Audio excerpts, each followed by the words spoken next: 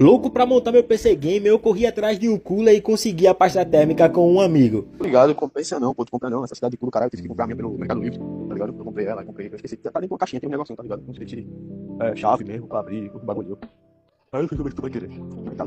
Com tudo pronto e com a ajuda do brother, chegou a hora de montar o nosso kit Shell pra ver se ia dar bom no nosso PC. Lembrando que o kit não vem com essa pilinha e eu tive que arrumar ela de uma outra placa-mãe antiga que eu tinha aqui em casa. Já esse suporte para o cooler veio com o kit e foi essencial para eu colocar o cooler que eu havia conseguido. De resto foi só montar o kit e aproveitar as peças do meu computador antigo. Dei aquela limpada marota no cooler com aquele limpa contato e aí tá a pasta térmica do nosso mano Brendal. Colocando apenas aquela gotícula e brother, você acredita que eu, todo esse tempo, abrindo PC, desmontando PC, é a primeira vez que eu troco uma página térmica na minha vida? E tá aí o nosso cooler. Primeiro eu achei que não ia encaixar de boa, achei que o processador era muito grande, mas foi tranquilo, foi bem suave. E tá aí a nossa memória RAM de 16 GB 3200 MHz. É um monstro de memória RAM, porém eu fico na mágoa porque só com uma memória RAM não vou ter como ativar o Dual Channel. E tá aí outra parada que eu nunca tinha trocado na minha vida, que é esse espelhinho. E mano, eu apanhei muito pra tirar e colocar o outro espelhinho. espelhinho colocado, eu dei aquela limpada por cima assim do gabinete,